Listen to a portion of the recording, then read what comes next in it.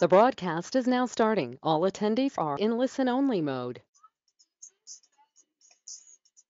Hey everybody, um, welcome to today's virtual tours webinar and um, you know, we'll kind of just be standing by for the next five minutes until we get rolling, but if you have a chance, we ask that you do please click on that link in the chat um, and uh, tell us a little bit about where you would love to do a um, you would like to take people as, as a field experience or as a potential virtual tour.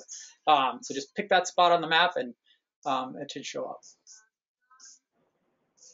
And, and if you have any questions that come up in the meantime or anything like that, um, you can feel free to just type into the question box and um, all the panelists and presenters that you see here will um, be able to see that.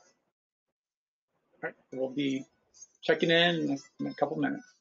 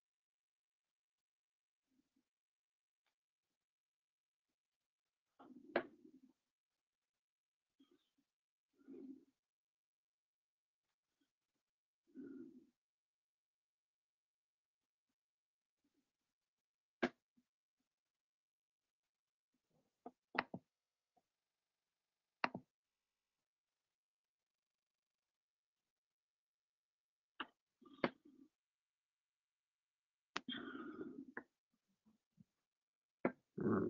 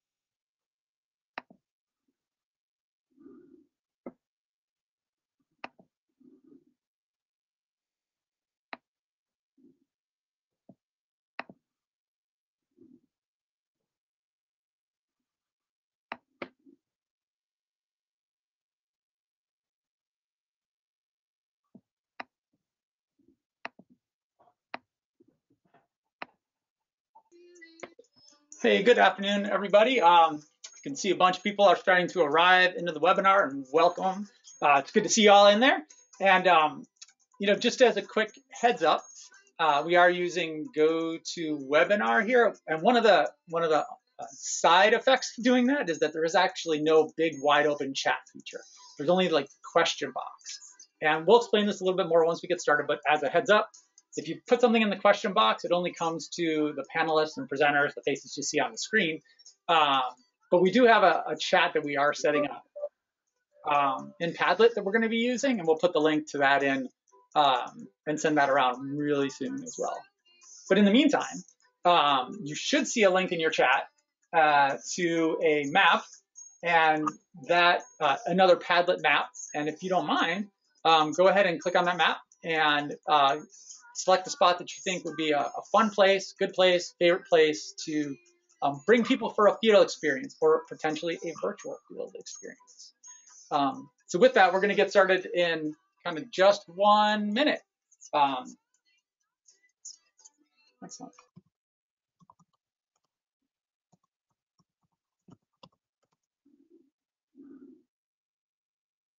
Yeah, so before we get started, if you're having trouble navigating multiple windows, um, you can also take a picture of the QR code with your phone, which I'm currently doing, and I'm monitoring the maps. So it's fun to see people marking places. Um, what do I see? South Africa and Brazil, across the United States, which is fun.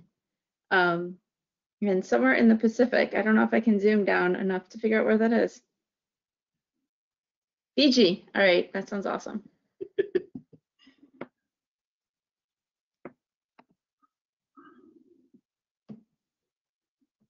Well, um, given the time, I think we could get started. Um, so welcome everyone uh, to uh, our first MWEE practitioners webinar. Um, and for those of you just coming in, what we've been asking is people to visit the Padlet that's currently on the screen. So again, you can use your phone to take a picture of the QR code and it'll come up on your, your phone, or you can type um, type the link that we currently have into the chat to visit it. And we're just asking you to, no restrictions, think about anywhere in the world, where would you like to give a field experience? And so it's kind of fun now looking at it and seeing those pins populate. Um, but they'll be bringing it up later in their talk, um, so don't worry. Uh, it is just for fun, but they'll also be referencing back to it too. Um, so if you want to click to the next slide. So I, um, I work at the NOAA Chesapeake Bay office, the Environmental Science Training Center, and we're the ones that host these MWEE practitioner webinars. So I'm Krista Hogan. With me, I have my colleague Bart Merrick and also Elise Trelligan.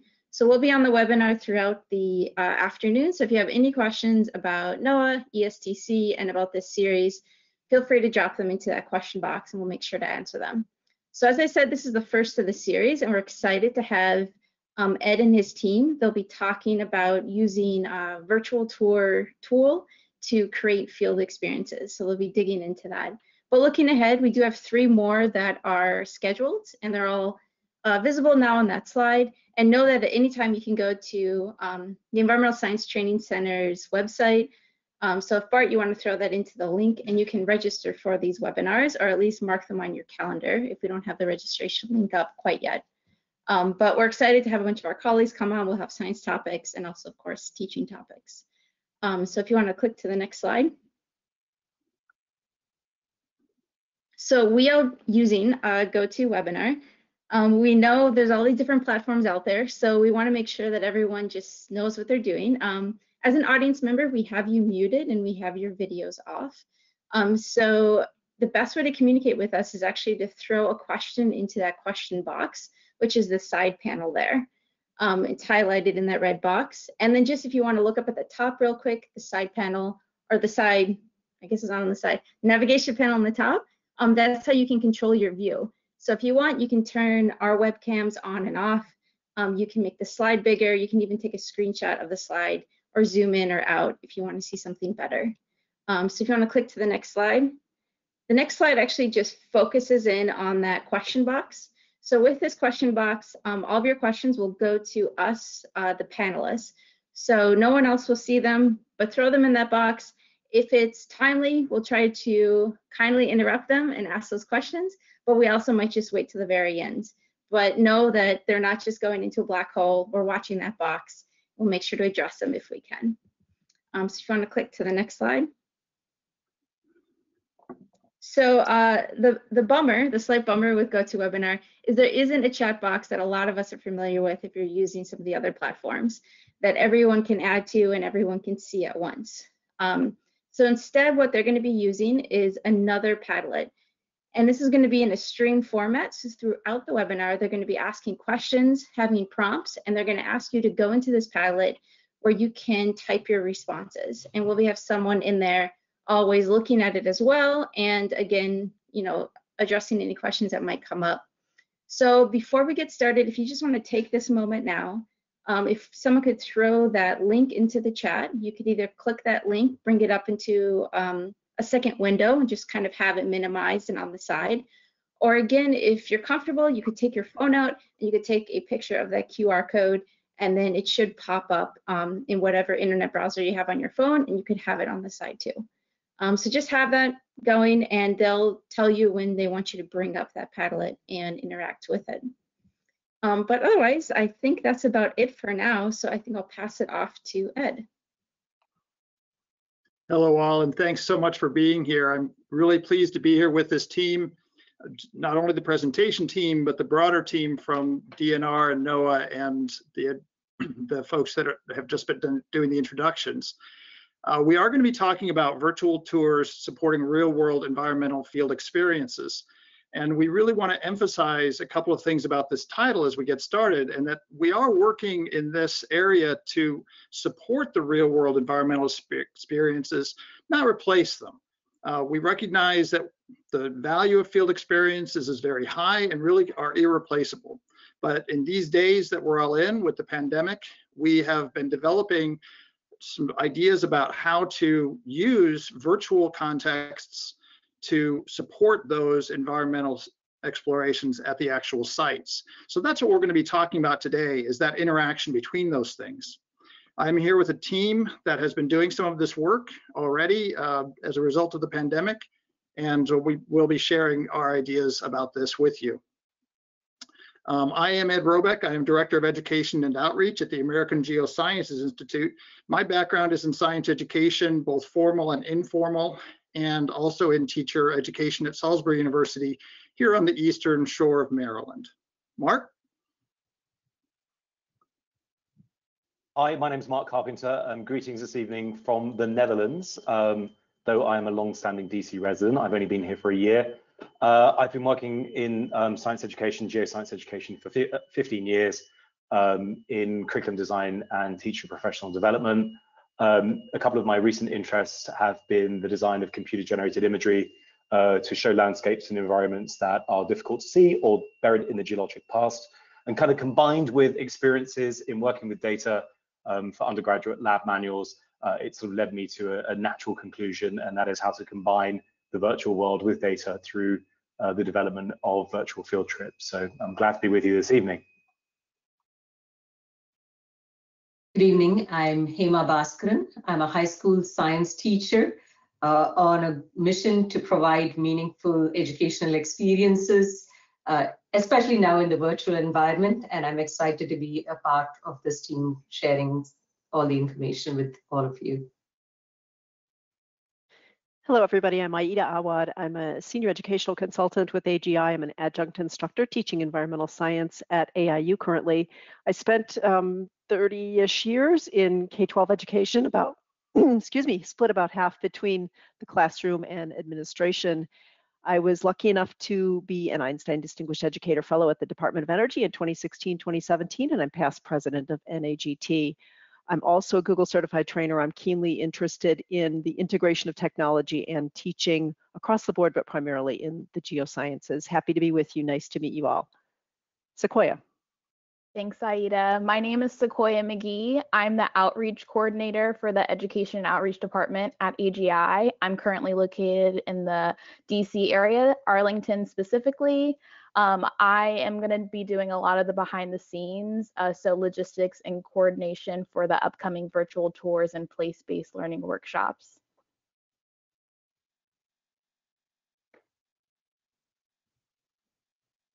Thanks everyone for those introductions. And we'll get on with the webinar now. You can see the webinar agenda. Uh, we're going to be talking a lot about something that we're going to be calling virtual context for environmental exploration or just VCs. So when you hear that term, that's really what we're talking about. And we'll make a distinction between those and some other things that you might have heard of before as we go forward. Um, you can see that we have a lot to cover today. Uh, we're going to be focusing a lot on place-based education as a framework for all of this work.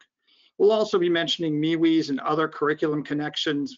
There's a lot of the stakeholders that we're working with and that perhaps you're working with are educators that rely on those, and also talking about the, the process for designing and creating the virtual context or the VCs using Google Tour Creator, although other uh, platforms are also possible to use for this. The products are somewhat different. Today we'll be focusing on, Google Tour Creator.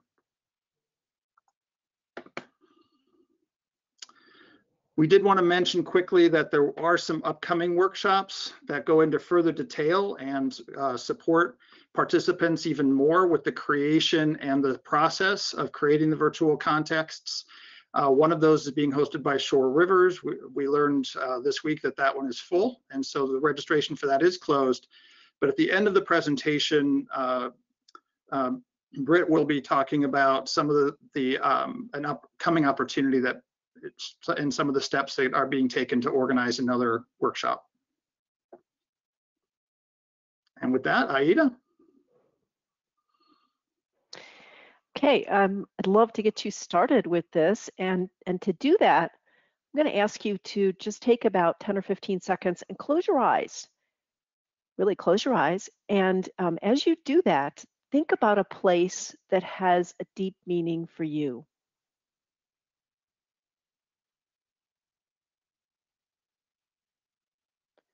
And then what about that place makes it particularly meaningful to you? And we would love to ask you here at this point to go to the chat to the Padlet at bit.ly forward slash vtour chat. Many of you have that open already. And type into the Padlet, what's the place and a couple of attributes, a couple of reasons that it has so much meaning for you. Let me give you a second to do that.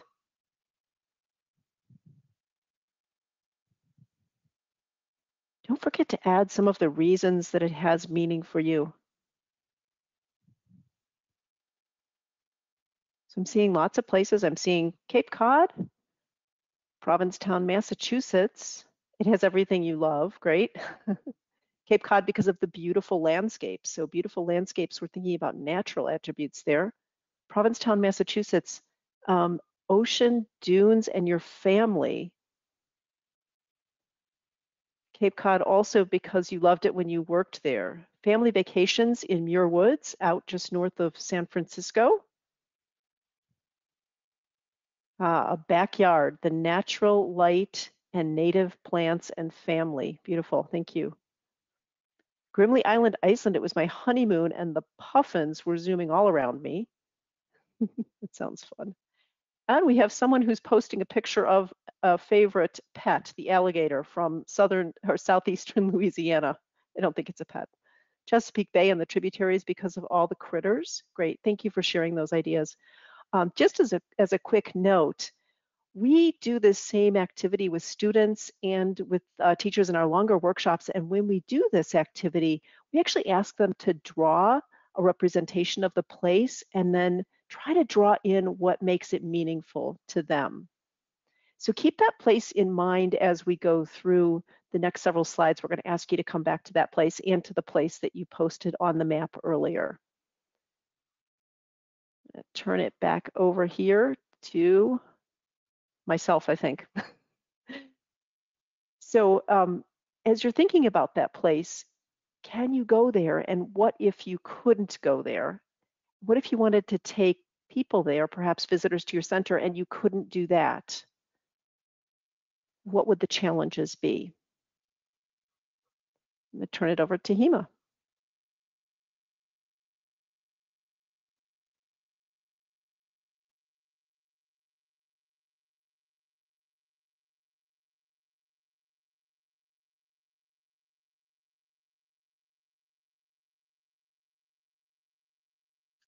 So perhaps perhaps Hema is having some trouble getting the audio up. I'll go ahead and do speak to this. Um, what we really want to focus on here is the idea that um, to keep people engaged with environmental exploration and education while there's a pandemic, it presents us as informal educators with a number of challenges.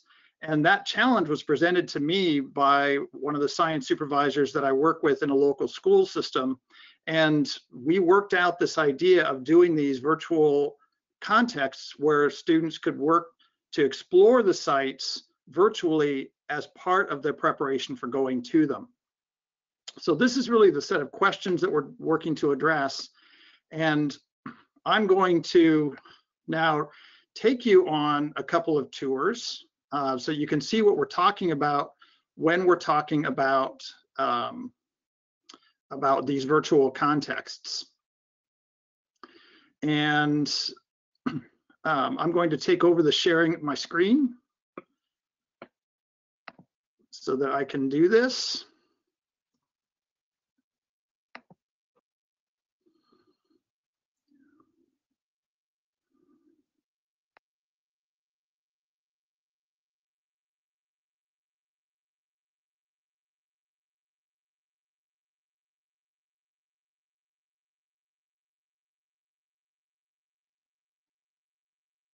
There you go, Ed. And just to, Ed, I think you might have hit your mute button. I, can't quite hear you right now.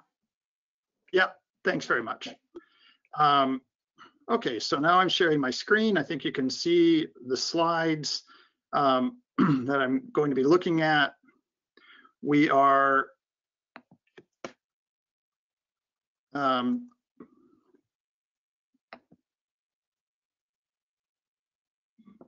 okay, so the problem during uh, COVID-19 is that students are not able to engage in these scheduled experiences. So to keep them engaged with the environmental sites, we wanted to provide these opportunities.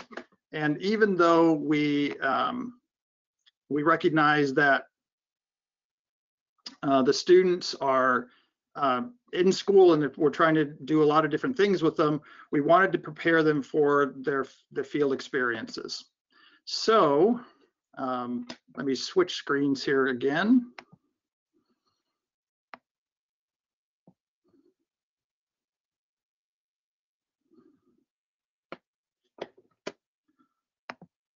Okay. And I'm going to show you a couple of these tours. So this is a tour that I created near my home. Um, and what you're looking at here is just a set of trees, but you're able to pan around during the tour. And this tour that I created is a demonstration of one that would be focused on the theme of biospheres. So my first scene is on, uh, excuse me, it's on Earth systems, and the first scene is on biospheres. So um, I'm looking at this, and one of the things that you notice here is that I can pan around freely. And with that, I can open these spots that are highlighted as points of interest. This one is a deer that uh, was seen here and photographed in this location. And then for the point of interest, I'm able to type in or see some information about that point of interest. And then here's another animal that was spotted in this area. This is a great horned owl. And again, some information about this. And then to expand the possibilities, you can use various kinds of media. It doesn't always have to be photographs. So here is an artistic representation of some of the elements in this area and how they might, can, these can be used to talk about how these might connect to each other, uh, the elements from the scene. And in this case as well, uh, this is second growth forest. So one of the things that we think about here is the history of the location and the fact that there was a lot of logging done on the eastern shore.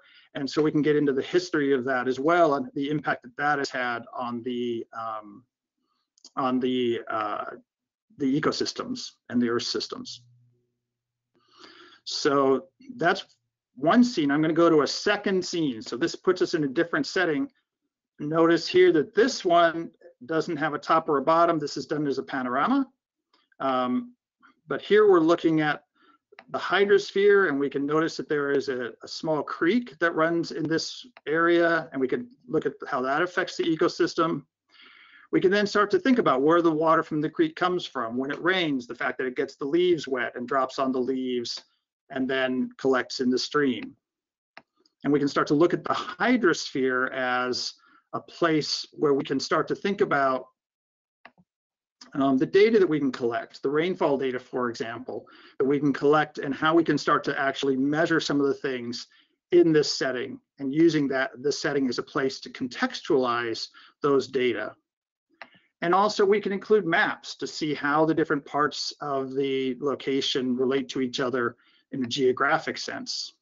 So this is just a very quick um, tour of this site. And you can see that a lot of thought goes into creating it. We'll talk some more about that thought in just a bit.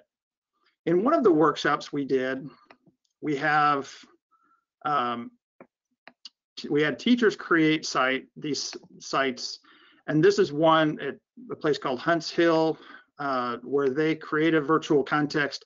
In many cases, using their own photos uh, as well. So being able to include information um, about different uh, places, about things that they have experienced, but relating it all to, again, the Earth systems as part of their curriculum and what they were doing. Now, the idea is, again, that this is something that the students, the learners themselves will create.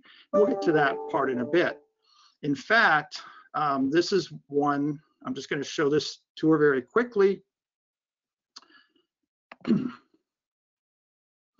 where, there we are. Uh, this is one of Hema's students. She gave this assignment in her ongoing environmental science class. And this is one of the tours that one of her students created about a favorite place in Salisbury, Maryland. And some of the his, the personal history that the student has shows up um, in this, some of their memories of the different parts of the park that they've used and on and some of their favorite locations. So this is how these look. This is how they're uh, uh, put together. A very quick demonstration of how that's done. If you go, go, go to Google Tour Creator, um, you can do this very quickly. Uh, you have uh, the opportunity to start a new tour. And then you just select an image to do this. And this becomes pretty intuitive pretty quickly. I have an image that I want. I'm going to sort of recreate the one that you've already seen. So this is the opening uh, scene uh, for the cover photo. This is, I'm going to call this a demonstration. And I can describe it here and then I can put it in a category, which just helps people to find it um, when they're searching. And I create the tour. And then I want to do my first scene. This says add scene. So I'm going to upload, in this case, a 360 image. This is a spherical image that was captured by, on a 360 camera. And you can see that when you add it initially, it looks a little wonky. It does not look the way we would expect it to. But then when we actually add it to the scene, because it's a spherical image, now you can see that it looks like it should. We can pan around. And then to add the points of interest, I just first need to move this menu. so I add a point of interest. I can say this is a deer. And then I can go and I can get the photo from my folder on my computer.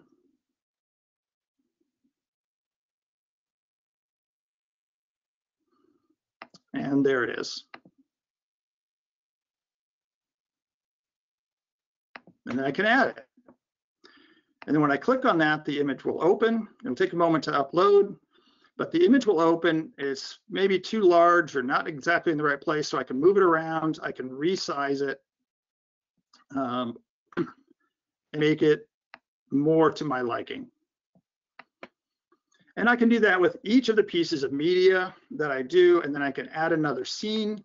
Uh, in this case, I'm going to add the second scene that was in that tour. This one, as I pointed out, was a pan uh, panoramic photo that was just taken with my iPhone camera. And there I am. And then I can also, when this uploads, I can add it to the tour and I'm doing this very quickly, and we do recommend that people start with an exploratory phase where they just play around and build things. And then we'll talk in a moment about what some of the planning is that goes into these. So again, Ed? this is, yes? Someone asked, is this doable without a 360 camera? Can you address that? Oh, yes, very good. Thank you. uh, yes, this image, for example, is done with a panoramic image from my iPhone. Notice there's no um, uh, what's called nadir, and there's also no zenith, uh, where on the other image that I had, um, there that was done with a 360 camera, so that one you can see all around. Um, you can see up and down as well, and in fact, you can see the person taking the photo at the nadir, what's referred to as the nadir. So yes, you can. Hey, Ed, um, I've had a few questions come into the question box of people just having trouble watching the Google Tour live. Um, I don't know if it's like a, a bandwidth issue, but someone has been asking, you know, do you think it's like a difference between PC and Mac, or do you need Google Earth downloaded? Um, you actually, after you're done, the last step to creating these is to then go up here and publish them. And they are published to us another site called Poly.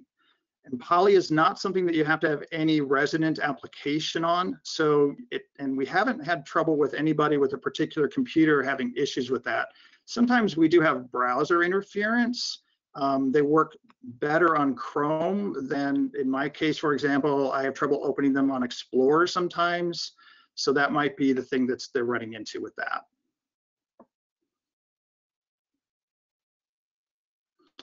And I was going to, it with that, if there are no other questions, um, I was going to try and turn it back over to Aida to share slides. Just a second, we have a couple other questions. Um. There was a question about whether you could embed narration.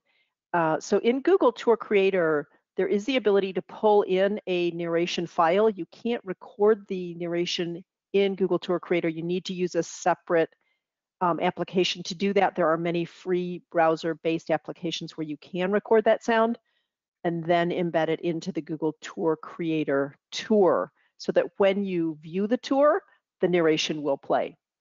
Um, and then there was another question about whether you could insert video or just pictures. You can also uh, insert YouTube links, and that's true for um, Google Earth projects as well as Google Tour Creator. So yes, you can do that. Um, let's see if there were, So I had one note about that, however, so here's the link, for example, um, on one of the, um, the, this, on this teacher made tour.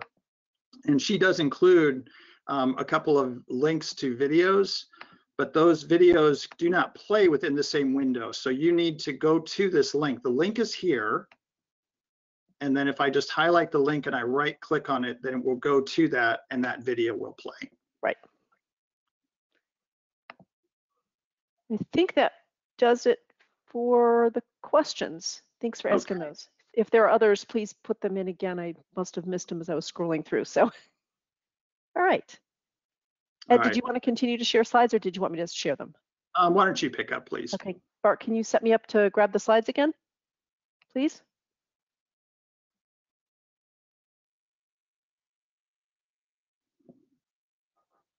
You should be good now, Aida. Thanks.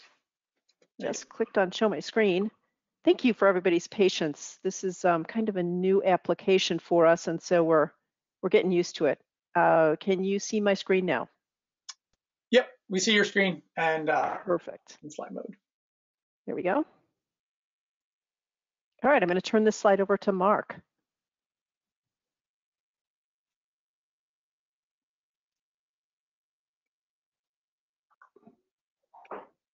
Okay, th- thank you very much.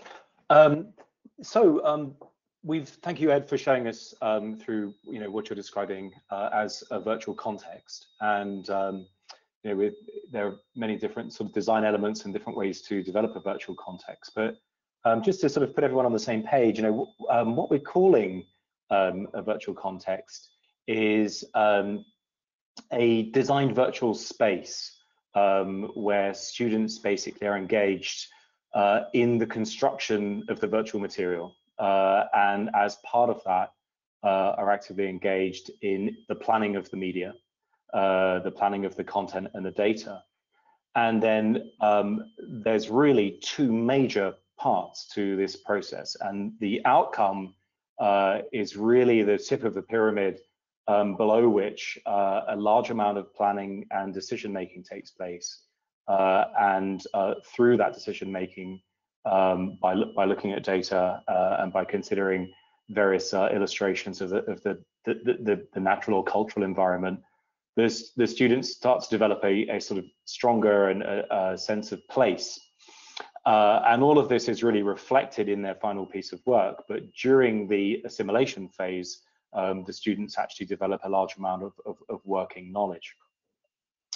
Um, these projects, uh, these projects are also um, multidimensional uh, in several ways. Um, they encourage uh, moving uh, across spatial dimensions from one site to another and allow opportunities uh, to work at very small scales of resolution uh, and much larger ones. and that's very aligned to the cross-cutting concepts in the next, genera next generation science standards. Um, they also allow the integration of multiple content areas, um, which means they're sort of suitable for uh, applications to um, various sciences and uh, uh various science subjects and non-science subjects, again, um, because they're sort of student-driven. Uh, those decisions are, are, tend to be made by the student, but of course they will be sort of aligned to the question directions from the education resource centers that you're working in. Uh, they also allow the use of sort of multiple data sets as, as well um, to illustrate uh, the behavior of some of the attributes which they're going to include or choose to include within their um, within their VCs. Um, they're going to students are going to work with a variety of different media types, which is very interesting because they'll uh, develop uh, broader communication skills by working with text, mathematizing, uh, and also working with video and audio media. Um, and also within this as well, they'll start to develop a, an appreciation uh, of a sense of place, and that's going to lead to the development of uh, value frameworks as well. Um, so the, at the heart of this approach uh, is the notion uh, of place-based education. Uh, and that really extends beyond the realm solely of geoscience and sort of creates a connection between sort of the earth sciences or geoscience uh, and geography and a range of other subjects as well. And I will pass you over on the next slide to Aida to talk a little bit more about place-based education. Thanks, Mark. So in the next couple of slides, we're going to start to build an understanding of how the tenets of place-based education can support the development of virtual contexts and field experiences. And these next couple of slides come from the work of Dr. Steve Semken. And Steve's a professor of geology and education um, at Arizona State University. So we thank Steve for sharing these slides with us for this webinar. So as we start to think more deeply about place-based education, I'd like you to think back to the place that you'd like to take people on a field experience. Maybe it's the place that you pinned on the map. Maybe it's the place that you thought of as your meaningful place. Maybe it's a place that came up as Ed was going through his demonstration. Place-based education is teaching and learning that is situated in place. It's through the natural and the cultural attributes of the place that meaning and relevance are developed for those engaging in the experience. And in a minute, we're going to look more closely at what we mean by natural and cultural attributes. But before we do, I'd like us to consider these two quotes um, Dr. Dr. Semken uses these quotes kind of to ground the importance of place-based education. And the first quote comes from Greg Smith. Um, and Greg Smith say, says that place-based education is what happened before schools were created. And he also says that place-based education is the new old way of teaching. And then the quote from Dudley Patterson, who was an Apache elder, who said, Wisdom sits in places. And I've heard uh, Dr. Semken follow up that quote with another one saying, You have to know places intimately to drink of their wisdom. I really like that one. So on this slide, we can see our connection to places and how it influences how we teach and learn about them. In fact, the knowledge that we gain about places becomes part of the meaningfulness we attribute to those places and contributes to the place making and a sense of place. In other words, we learn from and feel for the places that have meaning for us. And I think that these five design elements shown on this slide really describe how. Uh, first on the bottom left here, we're going to kind of go around in a, in a clockwise way. We focus on content and it's the natural attribute of that place. Think for a minute about the natural attribute of the place that you would take people. What content does that bring to mind? Next, the cultural attributes of the place. They add context and relevance for us. And then third up at the top, we can teach in the place or in ways that suggest the place. And these might be through some things like a virtual context where we can include maps and data and artifacts and even color schemes that help us to evoke that sense of place. The fourth design element is that we teach ideas that promote thinking and actions that encourage sustainability and resilience for that place and then finally, we can encourage and guide people to form their own intellectual and emotional connections to the place. So that's a lot. I want to just pause here for a minute, ask you to type into the Padlet once again. So this time, think about which of the five design elements can be featured in a meaningful place where you might actually build a virtual context. And you can see those design elements here. Let's go ahead and type into the Padlet. The link is up in the top if you've uh, lost that one, jump back in there. And let's share some ideas about the design elements that might be featured in an actual VC that you might, or virtual context that you might create. So maybe in this case, it's a good idea to list the place again, and then add in the element, design element.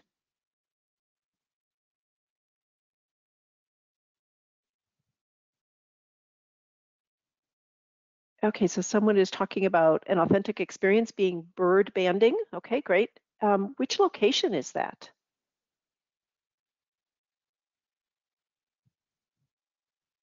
Seeing other people typing in. Got some places here waiting for their their design elements to be added.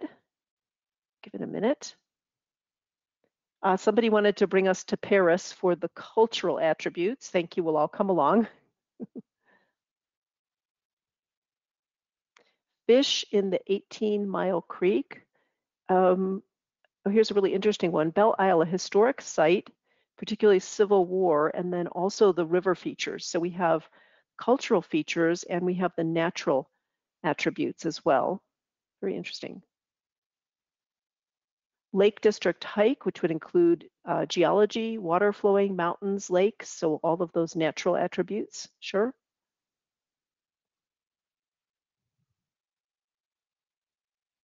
Let's give it a couple seconds and take a couple more. Um, sand dunes. So wind saltation and deposition, watersheds, macroinvertebrates, biotic index, and biological assessment, right?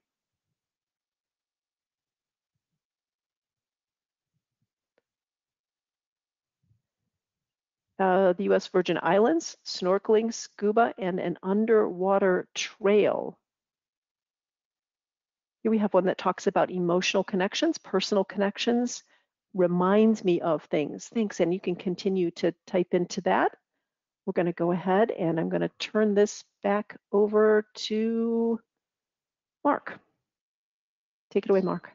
Thanks very much, Aida. Um, so um, what I want to talk about a little bit is um, some of Steve's ideas um, about um, a sense of place. So um, with the students that we're working with, um, what we're really trying to do is, is develop um, a stronger meaning to a particular location.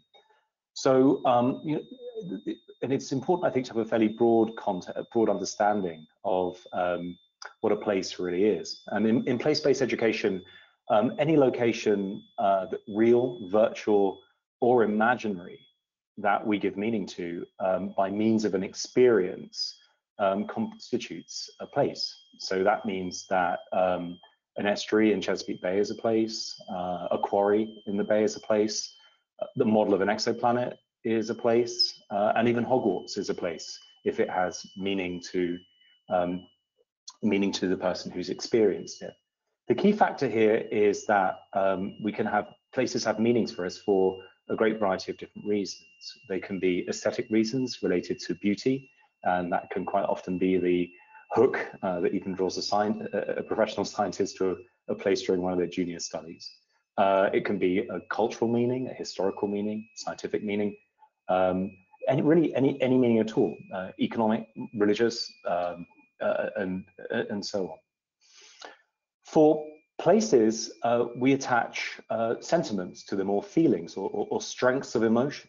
Uh, and the place attachments can really vary from very strong positive attachments. Uh, and again, those could be related to areas of outstanding natural beauty. Uh, we can have neutral attachments or we can have uh, even negative attachments. And perhaps an example of a negative attachment is an environment that we think is changing uh, faster than it, otherwise, than it otherwise naturally would, or an environment which has perhaps um, changed significantly due to, say, resource depletion.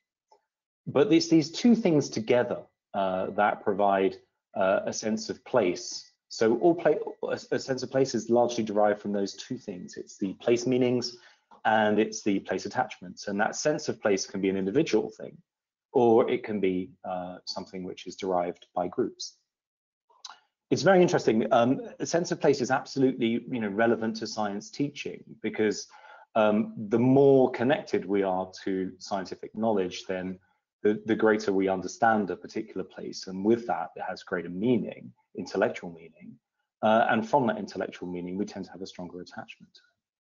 So we hypothesize or, or, really contend here that um, field experiences in the natural environment um, and field experiences in virtual contexts will support the development of a stronger and potentially positive sense of place.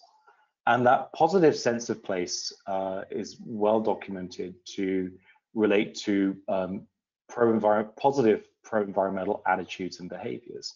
The more we understand about a place, uh, the greater we can assess its significance and also uh, any we can relate to or, or, or, start to understand deviations or changes in the behavioral nature of that place. And on to the next slide.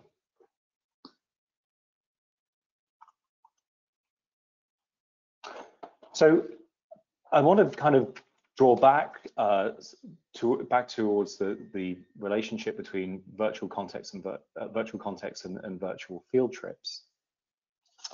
Uh, they both have um, several commonalities and they have some significant differences as, as well. Um, we can see that both are um, visually rich. Uh, they allow unstructured movement. Uh, they provide an engaging exposure to a site. Uh, they encourage questioning. Um, and they can include various forms of media, uh, possibly viewable in two dimensions or three dimensions, depending on the, the data capture. Uh, and they can be the basis for a range of learning tasks, and both media uh, evoke a sense of place. Virtual field trips are, are, diverse in their nature, but many of them, uh, the large majority of them that students use are pre-made um, by others and are visually engaging um, and focus in, uh, in a variety of environments from inaccessible locations to, uh, to accessible locations. And they typically reinforce content through, through visual environments. Virtual context, which we're talking about here with place-based education, of which virtual field trips are a part, are really emphasizing this, the element of student co-creation. Uh, and, and with that student co-creation, um, we are trying to uh, really um, encourage the uh, interdisciplinary uh, application of knowledge by students and also to promote multiple cultural perspectives um, within the work that they're doing. As, as, Ed, mentioned, as Ed mentioned, excuse me, at the very beginning, um, the virtual contexts um, are not a replacement for, for field experiences, and they're really an augmentation for virtual field trips. Um, but one thing they do enable, um, using the, the Google Tour Creator, as Ed was showing, um, was an opportunity to encourage planning for actual field experiences. And it, effectively, that is to um, enable students to work on a pre-field trip before an actual field experience. And with that, the next slide, please.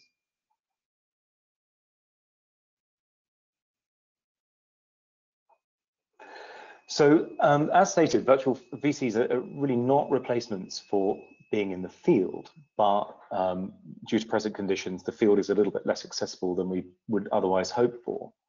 Um, so for now, they give us an opportunity su to support time in the field.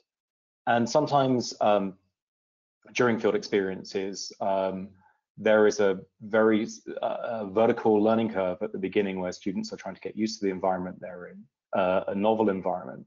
And the VCs can provide uh, a way of structuring or familiarizing students with the field experience, the actual field experience to come.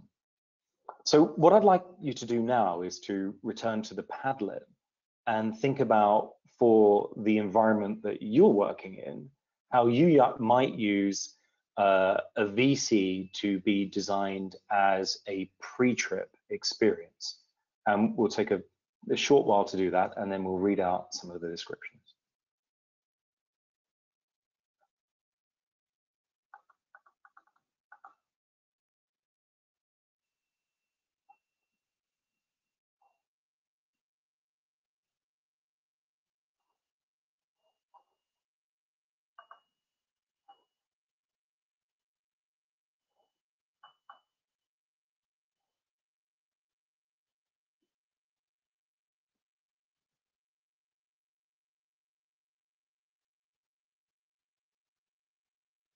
Aida, can you see the Padlet? I can, Mark, and I'm just taking a look here as people are starting to type in here. Um, so a couple of ideas, have students plan where they would explore and study. Um, it could be used to give an overview of the place and having students create I statements. I think I notice, especially things like I wonder, that's a nice one. Thank you for sharing that. I would like to show students and participants what the area looks like and just see what questions and concerns they might have as they're familiarizing themselves with the, the lay of the land for an upcoming field trip or research. And maybe one more here. Um, have students see the place and identify an issue that they would like to study further. So that's a, a, good wrap up. Go ahead and continue to type into the Padlet. You will have access to the Padlet after the webinar, so you can come back and read some more of the comments there. Back to you, Mark. Excellent. Um, I, I, am going to hand you over actually now to uh, to Ed. Hi, Al. So Mark talked about the various perspectives that can be used for developing this within a place-based concept and or construct. And the idea here in, on this slide is that these virtual contexts really allow for transformations of ideas between a variety of different media. And that's important in a number of ways. So the images can be related to maps, the maps can be related to artwork, historical archival material, as you can see, data and student writing, all of these things are blended together in the virtual contexts. And on the next slide, I actually put uh, in here the my uh, notes as I that I was using as I made my virtual context that I developed that I showed you first. Um, these notes are very rough.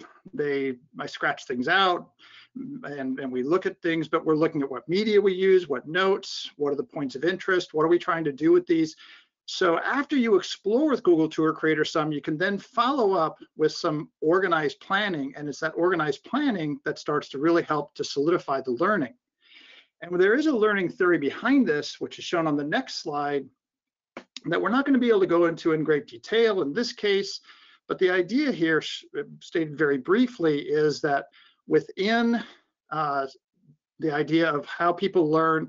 This is referred to as information processing theory, but specifically with media, that the media provide inputs which then go through sensory memory and working memory and into long-term memory.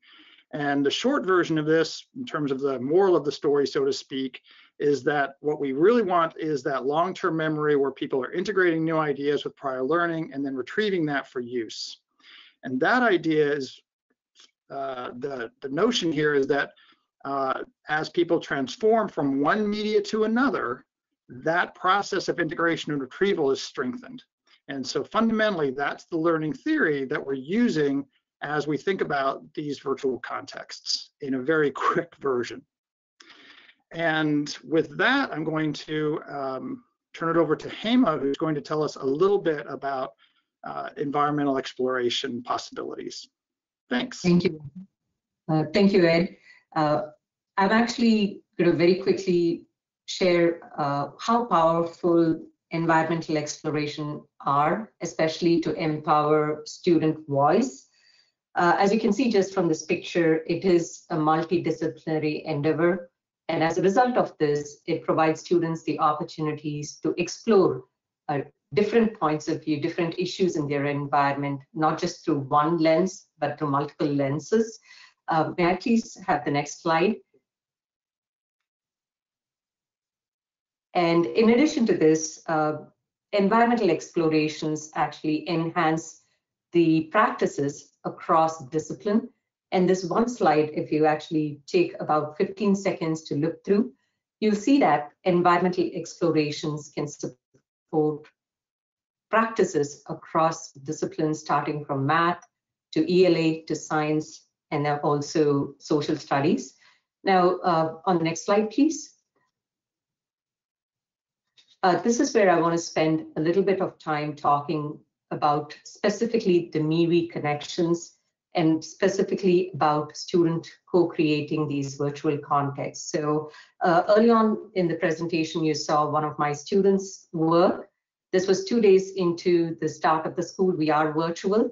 I asked my students to actually pick a place, their favorite place. So that was their first task. And that was just a task so that the students can learn the tool, which is Google Tour Creator. So the next assignment is for my students to actually go to that same location, which is their favorite location. And I specifically asked them to pick sites that is accessible to them, uh, places that they can visit safely, and to actually start looking for issues in their favorite location. And the next step is to actually start looking at the investigation, like collecting data. What, uh, what about the issue uh, they need to investigate a little more. Uh, what sorts of data should they collect? And based on the data that they collect, they actually come to conclusions. And based on the conclusions, they have to come up with an action project. And my plan this year is to use these virtual contexts as a way for my students to experience their place in a meaningful way and also to empower them to look at it from an issue perspective, from an investigative perspective, uh, drawing conclusions, explanations, and also doing something about it. Uh, so these virtual contexts, um, someone described it this morning as, an, as a digital estuary, uh, a place where the power of storytelling comes together with the power of not only data, but also youth voice and youth action. Uh, so I want to take uh, just about a minute and think about where in your current situation, which MWEE element, the VCs that you create or that you would want your students to create would fit in. And if you could please share, share that in the Padlet. And Aida, could you please share a couple of them as they come in? Thank you.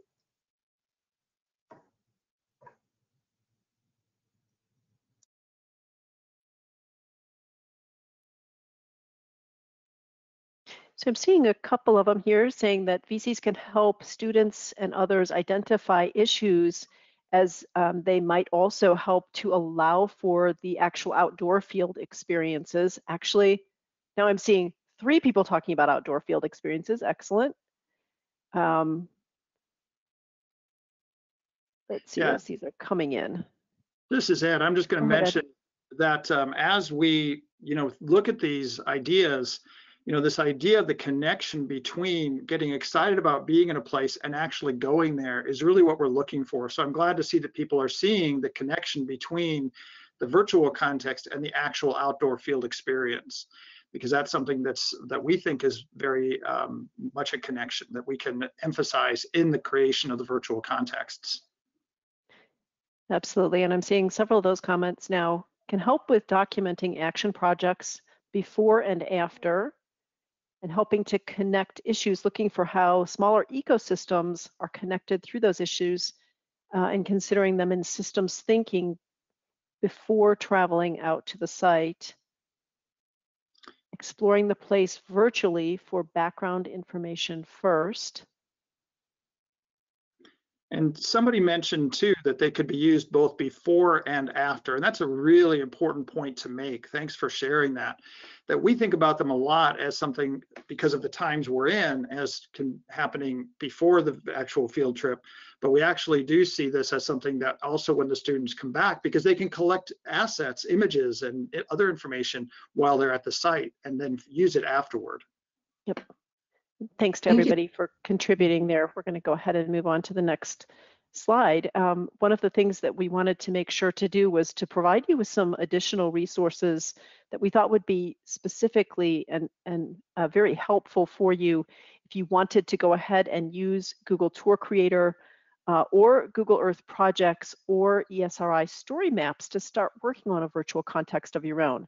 So this website, uh, the short link to it is bit.ly forward slash 360 360 VFT.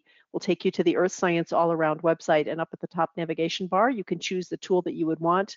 There are step-by-step guides there that will help you to create your virtual context, as well as examples of them on each one of those pages. So I encourage you to take a look at that website as a resource, and we'll drop that link into the chat box for you.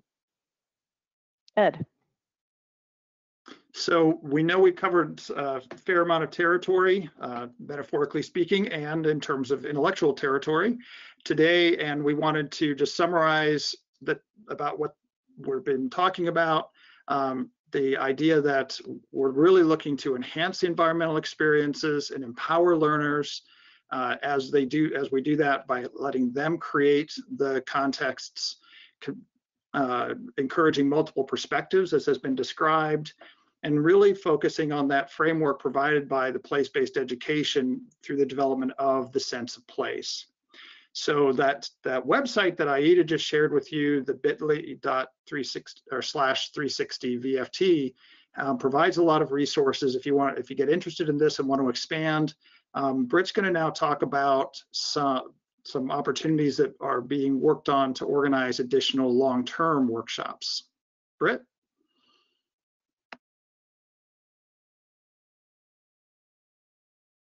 Hi, everyone.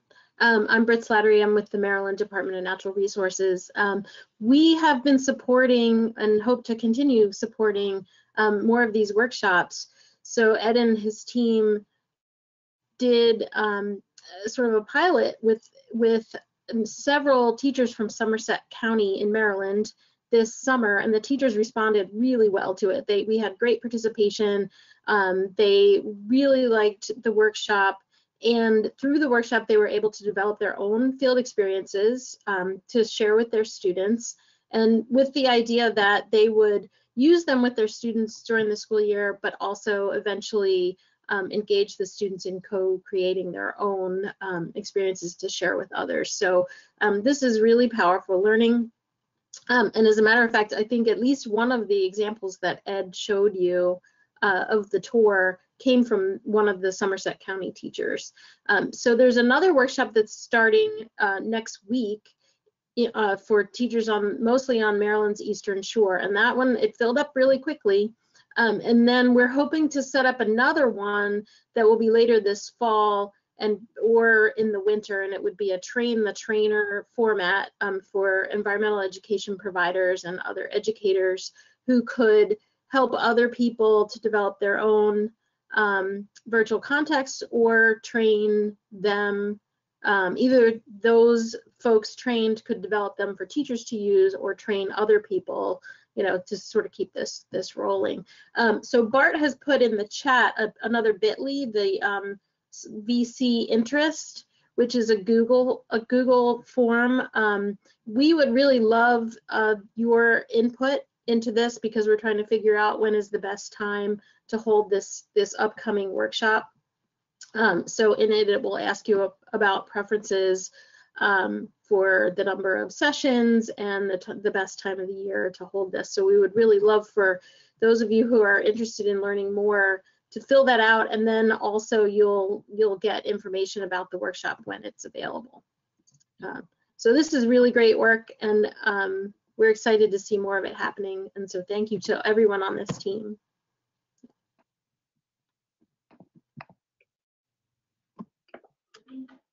Thanks so much, Brett. And I'll just mention very quickly, you can uh, take down my email address as we finish up here. We're right at the top of the hour. If you do have questions, feel free to email me. Thanks all. Yes, th- Thanks again, um, Ed and everyone for presenting. Um, yeah, like Britt said, uh, the one that's hosted on the Eastern Shore filled up really fast. So we're hoping to fill up another workshop coming up. So please use that Google form um, to share your interest. Um, we will be contacting everyone using the email they shared in the registration form. We'll make sure to share that Google form once again. A few of you asked about recordings. All of our webinars are recorded and it actually lives on the Chesapeake Bay Program's YouTube page. So we'll make sure to share that link as well. Um, and also, Ed and anyone else, I know a few people had trouble looking at the, um, the Google Tour live when you're navigating. So if you guys wouldn't mind sharing a few Google Tour examples, we can plug that into the email too, so people can, you know, explore a little on their own um, and get an idea what, you know, it could be useful for them. Absolutely.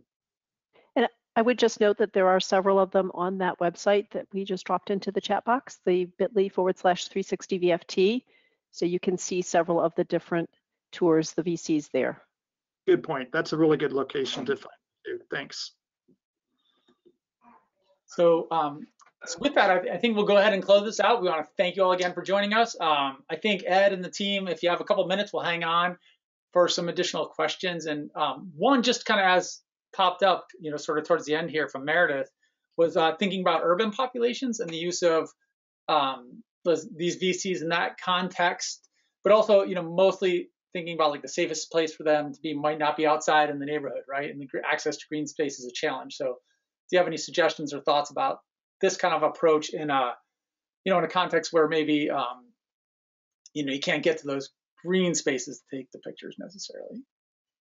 That's a really good uh, point, Bart. We have been focusing on environmental exploration, but a lot of young people, their environment is urban. Or, um, and I know that Hema's students, for example, um, she can probably speak to this better, have been choosing a wide range of sites that they to build their virtual context around. Hema, do you want to speak to that? Absolutely. Uh, out of 20 uh, virtual contexts that my student created, uh, about 16 of them were a local coffee shop, uh, a local eatery that the, that the, students like to hang out.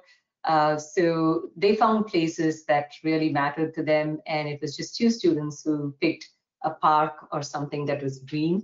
Uh, so uh, even with those, the kids were able to make connections, and I'm positive when they start looking for issues in their favorite locations, even in those urban environments, even in that coffee shop, they will be able to either find and solve some issues, or if there are issues that they that were solved in an innovative way, maybe they'll be able to showcase it to the bigger community. So those are all potential options, yes. Thank you, Hema. Thank you, Ed. Um, and like I said, we can just hang out here for maybe a minute or two, see if people have other questions. But otherwise, thank you all very much. If you do have a question, um, you can go ahead and raise your hand if you wanted to verbalize it. We can unmute, unmute you and kind of call you up, um, or you can put it into the the question box. We can follow up there too. And uh, while we're waiting to see if any of those pop in, Ed, Mark, Hema, Aida, and um, oh gosh, Sequoia's in the background. Oh, yeah, yeah. Sorry, I was, I was looking for that name. Um, thank you all very much, you know, for um, for doing this, and uh, this will be an interesting workshop, and it was a great presentation. It's perfect. Thanks. Thanks to all of you for the opportunity, and to all of the people who attended for the great work you're doing in the different areas where you're working with learners as well. Appreciate it.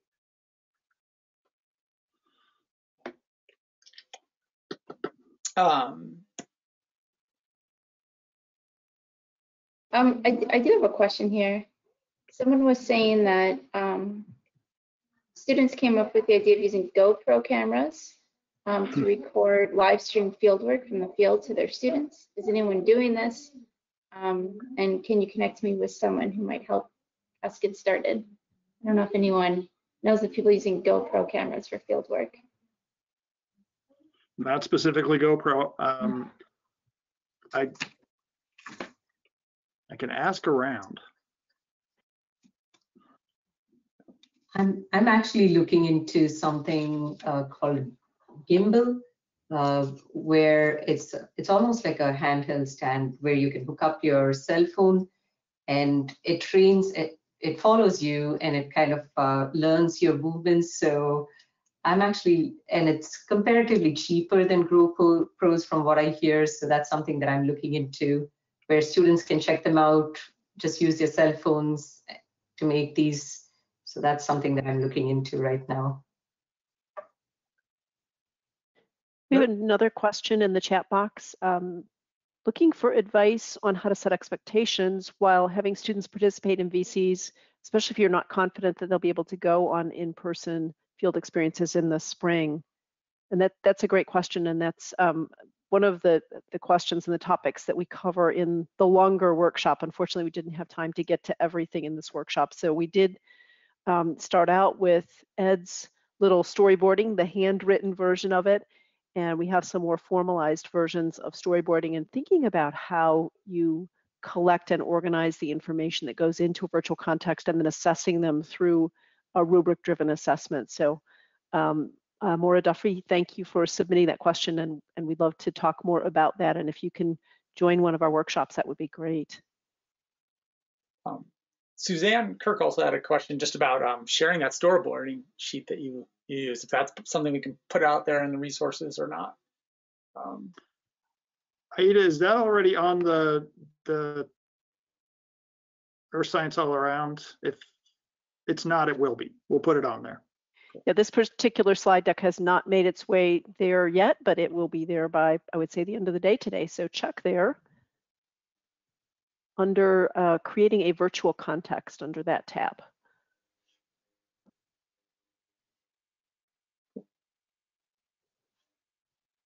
Um,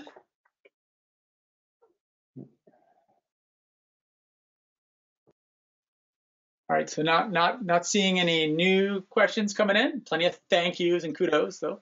Um, uh, I think, Thanks, I think we're in a good place to uh, close things out um, for, for the afternoon. And you know, I wish hope you all have a good rest of your afternoons and a, and a good weekend. And um, talk to and or see you virtually later. Thanks so much. All right. Thanks for the invitation. Bye. Bye all. Thank you, everybody. And thank you so much for covering for me. Like uh, my phone was at Best Buy and my internet was glitchy, so truly appreciate it. Thank you so much. Like a perfect storm, huh? oh yeah. nice work. Thank you. Cool. And um, Tristan, maybe we can just link over to the um, to the site that Aida was talking about um, to to get access to the slides or the PDF of the slides, maybe, and then the recorded version we'll put within the regular webinar um, home too. You mean the, the Chesapeake Bay program page? Yeah, where where we've been Yeah. putting the rest of them, I guess. Yeah. I mean, you can put them both places. I think the slides though, that's Yeah. fine. They just Yeah, I I got the website, so um, maybe Bart, I'll draft up like a response to the whole group. We can make sure we have all those links and stuff. Right. Awesome. I'm really hanging up now though. Okay, Thanks again. bye, everyone. Yeah. Bye. All right. Bye-bye. Unless there's other questions. Yeah.